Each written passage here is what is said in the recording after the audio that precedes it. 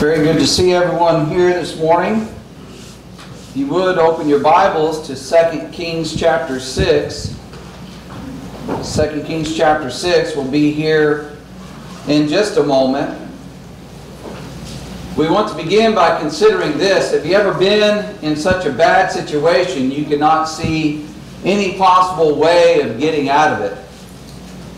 Maybe it was a financial struggle in your life where either your income stopped and so the bills piled up, maybe the debt that you had, house payment doesn't get paid, and your luck at finding more employment or more income just doesn't seem to be working out. And so you feel like, I don't know how there's any way I'm ever going to get through this. Maybe it's a health issue that you've had. Maybe it's something that's ongoing through life and you reach a point where you think, well, I'm just going to have to deal with this. I'm going to have to live with this. I don't see any way out of it at all. Or maybe it's a spiritual struggle that you faced and you feel like you've gone so far down that path of sin and unrighteousness that there's no hope for you. That you are always going to be entangled by the devil and sin, and you're going to just lose your soul. And when people hit that point, it's a sad condition as they turn their heart away from the Lord. But you know, the Bible be, reveals that what seems to be impossible to us, to men, is completely and totally within the power of God. And we have to learn to trust in Him and to believe in His power. We have to live in a way that we have confidence that He is with us because He loves us. To this end, we want to study out of 2 Kings chapter 6, an account in the life of Elisha the prophet. As we think about this lesson, we're thinking about Elisha's deliverance. And what we want to do is just begin by reading 2 Kings chapter 6, verses 8 down through 23.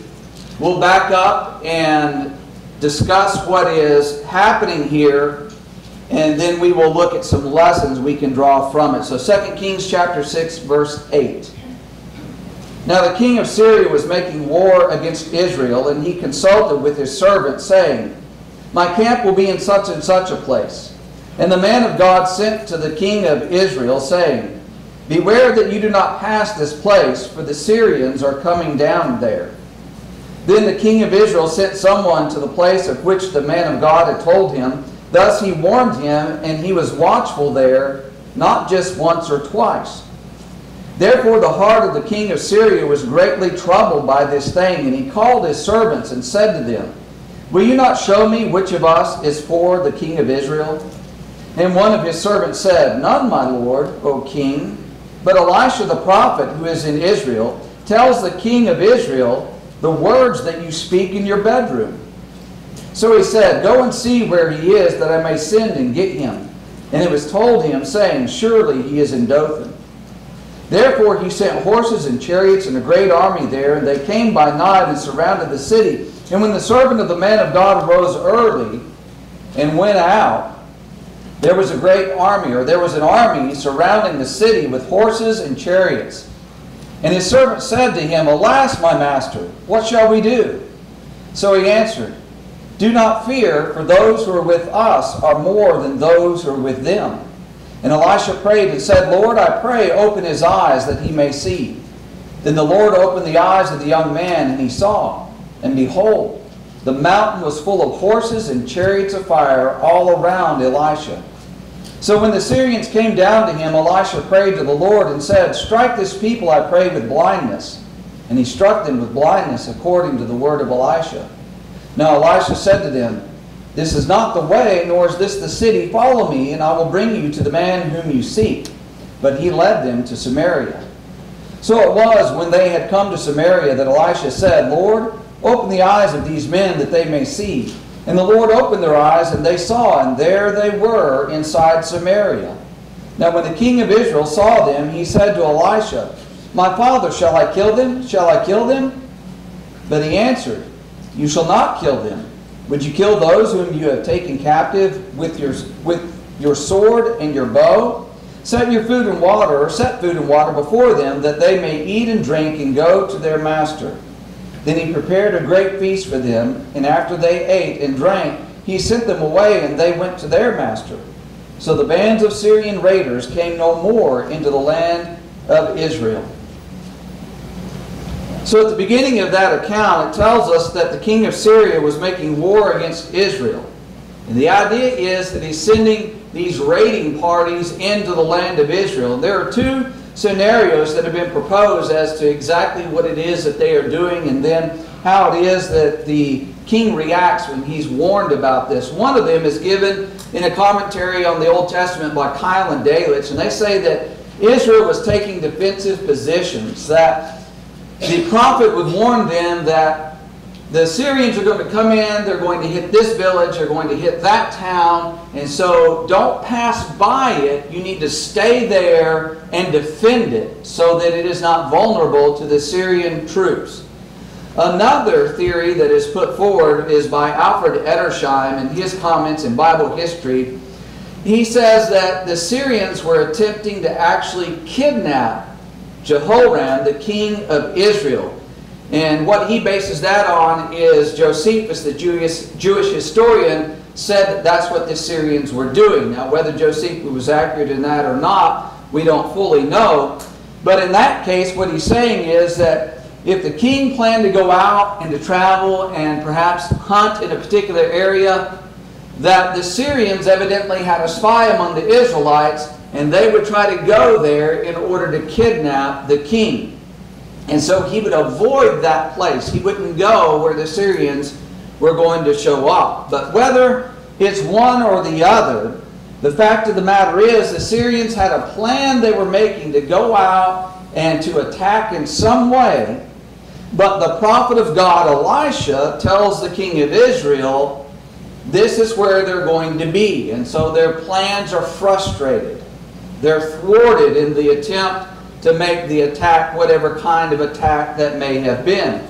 And so the king of Syria suspects that someone within his council, within his officers that would have talked to him about these plans and about the war that they were making against Israel, that someone among them was a spy. And of course, the spy answered, or rather, the, one of his members of his council answers and said, Well, none of us are a spy, my lord. But Elisha the prophet, who is in Israel, he tells the king of Israel, even the words you speak in your bedroom. In other words, in your most private place, he knows what you say. And he's passing that along. And that's why we can't capture the king of Israel or we can't raid these cities. And so it may be that this has happened long enough because it says it didn't happen just once or twice, but this is going on again and again and again. And maybe word got around that Elisha, the prophet, is the one who is letting all this be known. Or maybe it is that the Syrians did have a spy in Israel, close to the king, who is telling them, hey, Elisha's telling everything that you guys are doing. He's telling them all of your plans. Well, then the king decides okay, if Elisha the prophet is the one who's telling the king what's happening, then I need to snatch him. I need to go get him so he can't tell the king anymore. So he asks, Well, where is he? Find out where he is. The word comes back, Well, he is in Dothan in verse 13.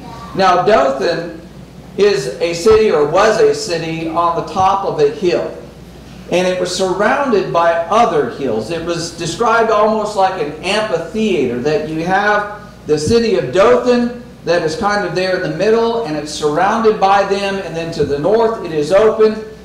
But there are these other hills that are there, so it's a relatively well protected or well defensible position because they could see people who are coming who crest those other hills before they get up to them, and then they would have to come up the hill to attack that city. And it says that the Syrian king, Ben Hadad at this time, that he sent horses and chariots there and a great army. So it's not a few people. It's not like he's sending a raiding party of three or four or half dozen or even a dozen, but he sends this great army up there. And maybe this is because he knows about the reputation of Elisha. Maybe it is because of what happened back in chapter 5 when Naaman the leper was healed of his leprosy. He knows there's great power and God is with him. And so he's being abundantly cautious here in sending this great army to try to capture the prophet of God. So they come up and they surround the city at night. In other words, they come in, of course, by stealth. When the servant awakens that next day and he goes out and he sees this great army around them, he begins to panic. Alas, my master, what shall we do? And what we see in this unfolding here is that God was with his prophet. The servant is very nervous about it. But Elisha makes this declaration in verse 16 Do not fear those who are with us do not fear, for those who are with us are more than those who are with them. Elisha is confident. He's not upset. He's not worried. He's not troubled about this whatsoever. And he's trying to calm the fears of his servant here. He's trying to tell him everything's going to be okay. So Elisha then prays, it says in verse 17, that the Lord would open the eyes of his servant. His servant's eyes were open, and he sees the mountain around them full, it says, of horses and chariots of fire. They were all around them. In other words, the idea is they vastly outnumber that great army of chariots and horses that the Syrians had sent there. And so everything was going to be okay. Well, the next thing we see Elisha pray about in verse 18 is that the Syrian soldiers would be struck with blindness. And there's debate about what type of blindness. Is this blindness as though they can't see anything and everything goes dark? Or is this blindness where they just can't see what's happening as they're being led away? In other words, they go to Samaria. They would not have gone there voluntarily, but they're still on their horses. They still have their chariots. And they have to pass along the pass. It's about a four hour trip between Dothan and the city of Samaria. And they have to be walked right in there. And so maybe they can still see, but they can't see. But whichever way that it is, he prays for them to be struck blind, and they are blind. And then Elisha essentially walks them into the city of Samaria, which would have been a stronghold of Israel. Well, Elisha then prays that their eyes would be opened. And they're shocked, they're surprised to find themselves inside the city of Samaria the king asks, the king's very excited. You can imagine how he is, that all these raiding parties have been coming into his land. He's been trying to either avoid them or stop them from coming into the land. And then all of a sudden, here's a huge contingent of that army right there in his city. He has the power then and there, no doubt with many troops that are with him, to attack them and to kill them, to slaughter them, and basically put an end to this war. So should I kill them? Should I kill them? And Elisha says, No, don't kill them. Give them food. Sit them down and treat them well.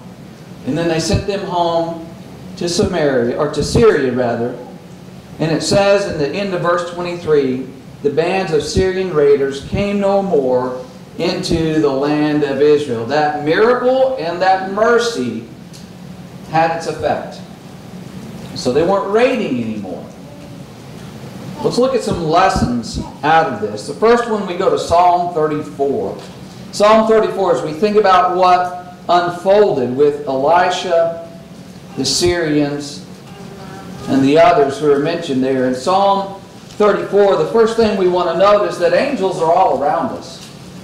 In Psalm 34, verse 7, it says, The angel of the Lord encamps all around those who fear him and delivers them. Have you ever thought about the fact that we are never alone? Sometimes we feel alone. Sometimes we feel like we are all by ourselves. When Elisha's servant woke up that morning and he walked out and he saw the Syrian army surrounding the city of Dothan, he thought it's just us against them. whether it's just him and Elisha or him and others who are in the city, they're outnumbered. You have this armed force that's facing them. And he's thinking, we're, we're in trouble here. He was thinking, we're alone. The army of Israel's up there in Samaria or they're camped somewhere else. We don't have an army with us. So he's thinking, we're alone here. But of course, his eyes were open to see a host of angels that filled the mountain around them. You know, there are times in the Bible where we read about the angels, if you will, piercing the veil between the spiritual world and the physical world where they cross over from one to the other.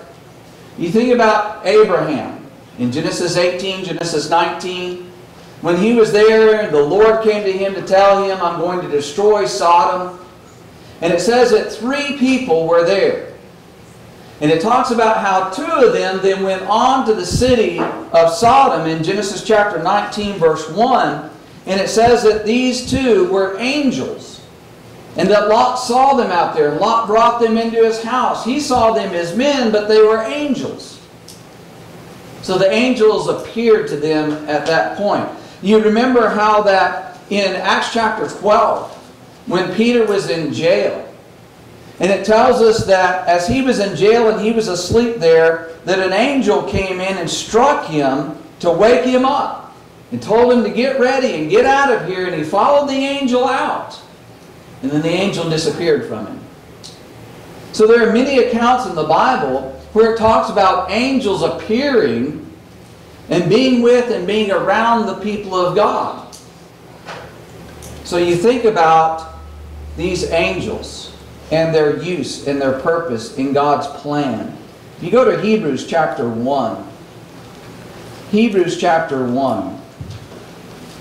And read with me here verses 13 and 14. Hebrews 1 13 and 14. He says, But to which of the angels has he ever said, Sit at my right hand till I make your enemies your footstool? And what he's talking about is the superiority of Christ above the angels. And he's quoting and saying that he did not say this to the angels, but he's saying it to his son who would sit at his right hand and make his enemies his footstool. But notice what he says in verse 14 Are they, referring to angels, are they not all ministering spirits sent forth to minister for those who will inherit salvation? Now, today we don't have angels literally walking around among us. But they are working in God's providence to bring about His will. And as they are working in His providence on our behalf, we understand that we can live a life of confidence. If you go to Hebrews chapter 13, Hebrews 13, and as a writer is closing out the book, he mentions this in Hebrews 13, verse 5. Let your conduct be without covetousness. Be content with such things as you have, for he himself has said, I will never leave you nor forsake you. So we may boldly say, The Lord is my helper. I will not fear. What can man do to me? We have no need to fear. Just as much as the angels were around Elisha and his servant, the angels are around us today, right now. We can't see them, but they're here. They are among us. They're watching us. They're working on God's behalf to bless and benefit His children. I can't explain how all of that works. I just know that that is what the Bible reveals. And in 2 Kings chapter 6, it pulls back that veil between this realm and the other and shows us there is a mighty host of God's angels all around us. Another thing we want to notice is the idea of using spiritual weapons. If you'll go to 2 Corinthians, 2 Corinthians chapter 10. In 2 Corinthians chapter 10, beginning in verse 3, it says this For though we walk in the flesh, we do not war according to the flesh, for the weapons of our warfare are not carnal, but mighty in God for pulling down strongholds, casting down arguments and every high thing that exalts itself against the knowledge of God, bringing every thought into captivity to the obedience of Christ. You think back to what unfolded in 2 Kings chapter 6 and how Elisha and his servant are staying there and they're looking at this great army they have swords and spears and shields, and some of them are mounted on horses, and others that are in chariots. And if you know anything about ancient warfare, the horse gave a huge advantage to anyone on the ground. The great power of that animal going into battle. And so here they are facing this overwhelming force. And of course, it made his servant very nervous. But what is it that Elisha did? If you go back to 2 Kings chapter 6, 2 Kings chapter 6, and notice again how the prophet reacted to this. 2 Kings chapter 6 verse 17, Elisha prayed, Lord, I pray, open the eyes that he may see. In verse 18, Elisha prayed to the Lord and said, Strike this people, I pray, with blindness. So in one prayer, he's really asking to give my servant evidence so that his faith is strong. So it's defensive in a sense, if you will, faith building in a sense. But then he asks that the Syrian army would be struck blind. So they're rendered incapable of attacking them. They're weakened in this. And so this is, again, a protective measure that he's taking. But notice, it's prayer. Elisha doesn't say, let's run into the armory here in Dothan and let's grab our weapons and we'll go out here and we'll have at it with these guys. He goes to God in prayer. He employs, if you will, spiritual weapons as his manner of protection and deliverance. In Ephesians chapter 6, Ephesians chapter 6, remember that the Apostle Paul lists out the armor of God there in Ephesians 6, beginning in verse 10. Let's read down through 18. Finally, my brethren, be strong in the Lord and in the power of his might. Put on the whole armor of God that you may be able to stand against the wiles of the devil. For we do not wrestle against flesh and blood, but against principalities, against powers, against the rulers of the darkness of this age, against spiritual hosts of wickedness in the heavenly places. Therefore, take up the whole armor of God, that you may be able to withstand in the evil day, and having done all, to stand. Stand therefore, having girded your waist with truth, having put on the breastplate of righteousness, and having shod your feet with the preparation of the gospel of peace. Above all, taking the shield of faith, with which you will be able to quench all the fiery darts of the wicked one, and take the helmet of salvation and the sword of the Spirit, which is the Word of God praying always with all power and supplication in the Spirit, being watchful to this end with all perseverance and supplication for all the saints. Put on this armor of God, he says, that belt of truth, that breastplate of righteousness, having sandals on your feet of the gospel of preparation to give you strong standing. Have a shield of faith and a helmet of salvation and take that sword of the Spirit. Use these things in your battle against Satan. They're going to help you. They're going to deliver you. They're going to protect you. And did you notice how when Paul rounded out that list that he says praying always? You need that armor. You need the sword, but you need to be praying.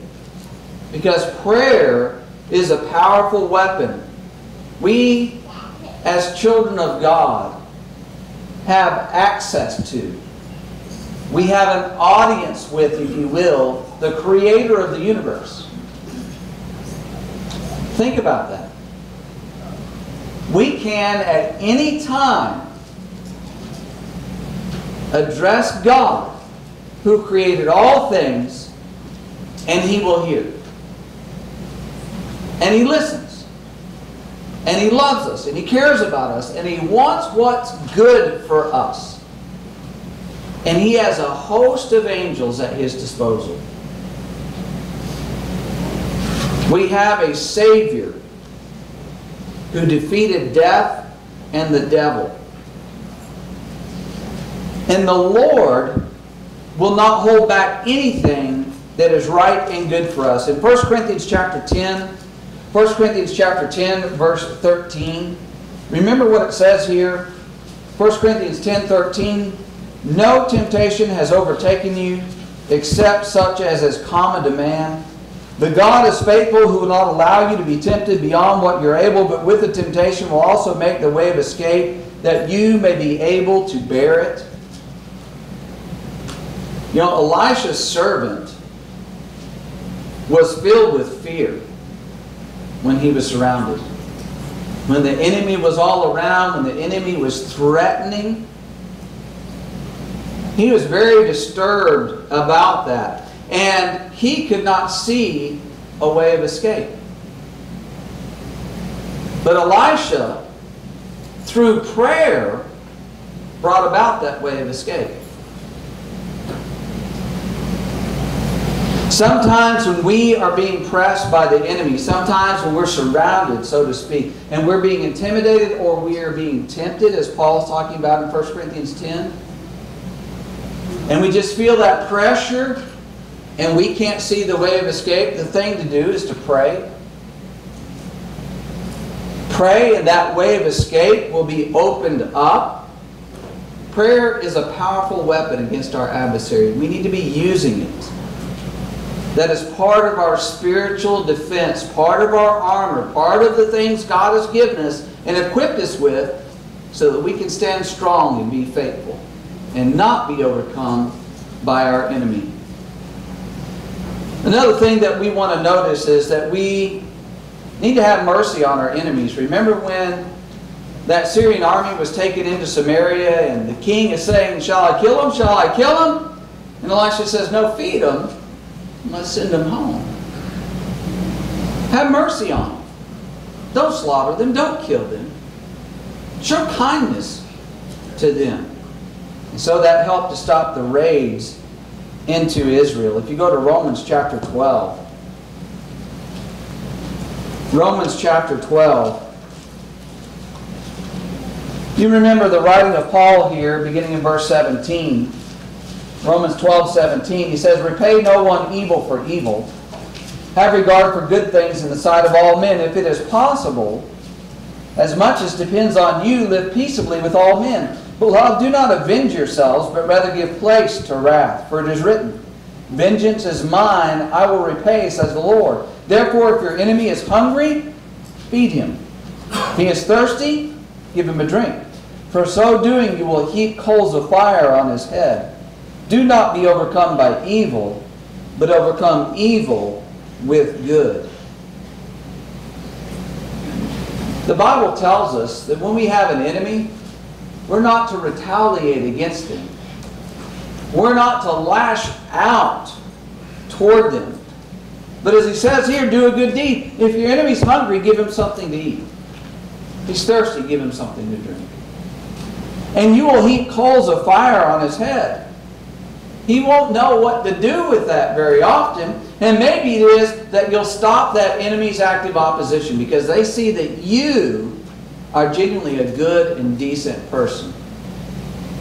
And you truly care about what's best for them, not just yourself. But then also in Matthew chapter 5, Matthew chapter 5, Jesus addressed this issue beginning in verse 43.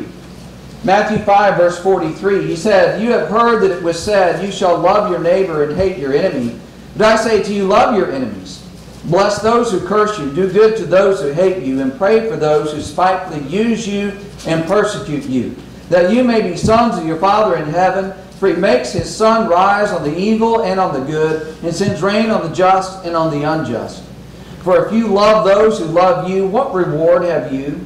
Do not even the tax collectors do the same? And if you greet your brethren only, what do you more than others? Do not even the tax collectors do so? Therefore you shall be perfect, just as your Father in heaven is perfect. You know, God is generous and kind to those who are evil, as well as to those who are good.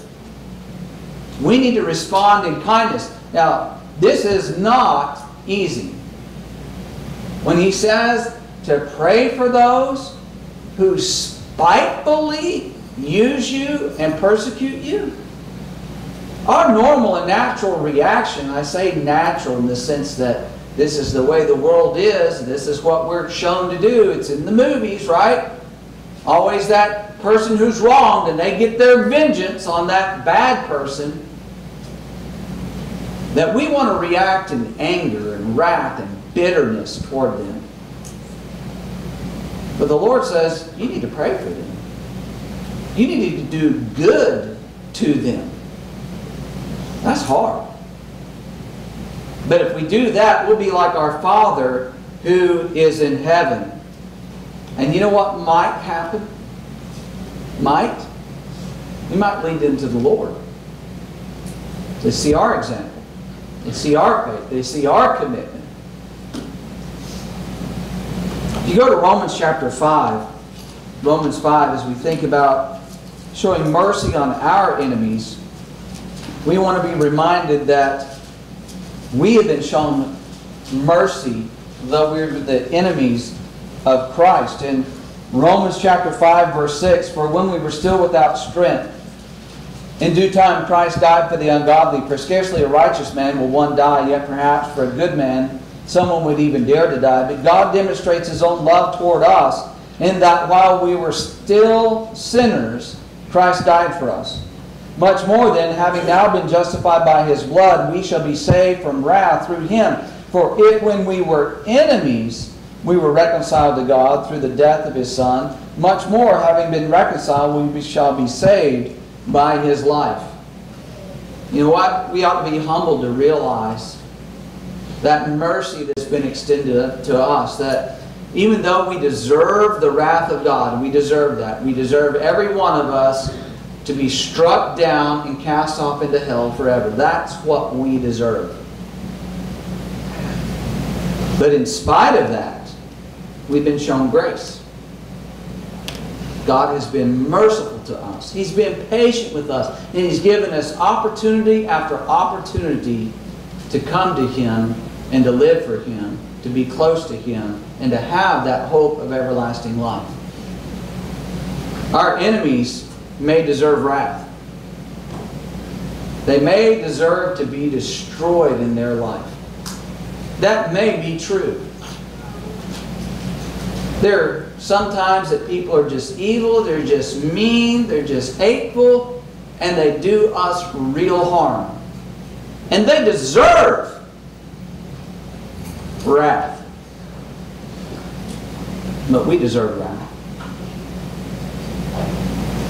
So we need to show them kindness and mercy. It's not our place to bring that wrath upon them. Vengeance is mine, says the Lord. Leave it in the Lord's hands. He will take care of that. If you will, open your Bible, or your hymn books rather, to 719. 719.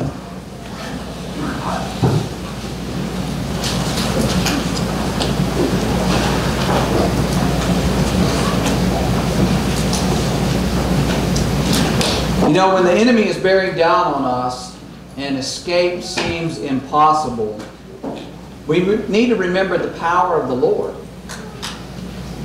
We need to remember that He's working for us.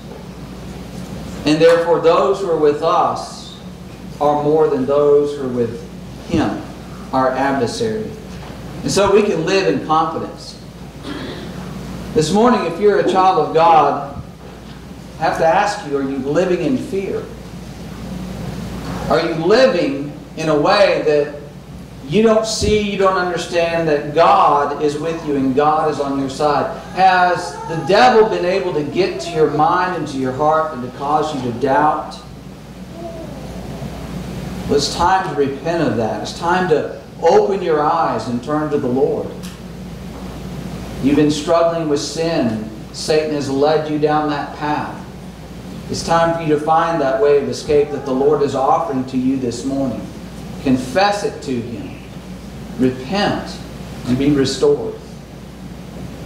And anyone who is not a child of God, anyone who has not believed in Jesus as the Christ or confessed that, repented of your sins, if you've not been baptized to have your sins washed away, you've not obeyed the gospel, then you stand condemned and you stand as an enemy of God. And all enemies of God in the end are going to be defeated and they are going to suffer eternally. Right now is your opportunity to turn to the Lord. He has allowed you in His providence to be here in His presence that you may, be have, you may have your sins remitted and taken away. That you may live a life of great faith and confidence, knowing that He is with you and on your side. So won't you turn to Him and humble yourself and accept the mercy that He's extending to you now? If you have a need to respond, we invite you to come forward while we stand and sing.